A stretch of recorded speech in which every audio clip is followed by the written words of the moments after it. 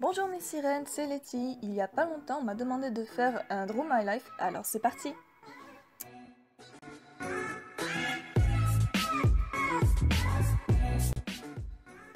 Je m'appelle Letty, j'ai 25 ans. Laetitia, c'est plutôt lorsque je me fais gronder, donc appelez-moi le moins possible comme ça, s'il vous plaît. Alors voilà, je suis née dans un pays très très lointain, peuplé de licornes et de sirènes. Ce pays, la France. J'ai donc grandi à Toulouse, célèbre pour sa chocolat... bon, enfin bref, à fenouiller précisément.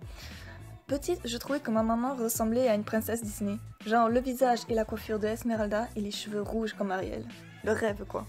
Elle travaillait dans des magasins de vêtements, donc toujours hyper bien fringuée, et moi j'avais juste l'impression de ressembler à une patate à côté. Puis il y a mon papa, garagiste, m'emmenait beaucoup dans des concentrations, des rassemblements auto. Et ce que j'aime, c'est les voitures vintage. Plus tard, il y a eu mon petit frère, Cédric.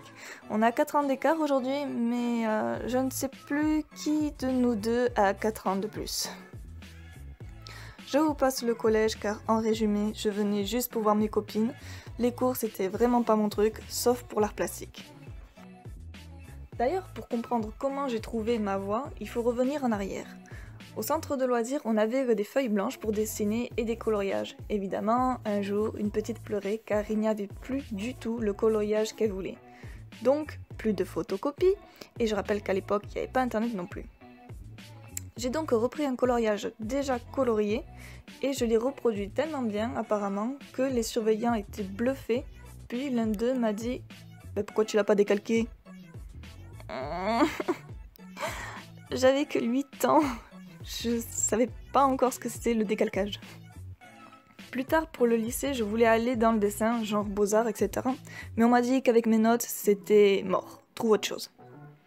Et comme j'aimais beaucoup la mode et la couture, j'ai fait un bac pro métier de la mode dans l'espoir de faire styliste, histoire de rester dans le dessin.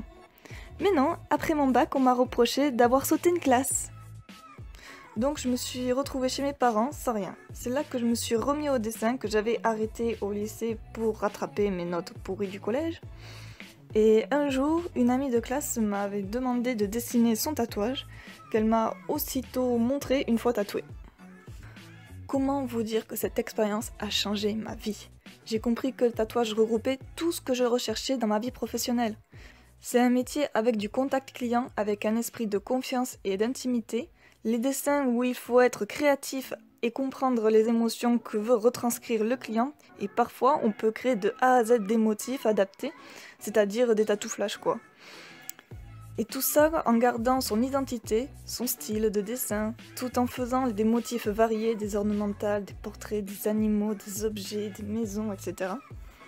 J'ai donc continué des petits boulots en proposant sur Facebook des dessins de tatouage pour des inconnus et en même temps je cherchais des apprentissages dans le tatouage.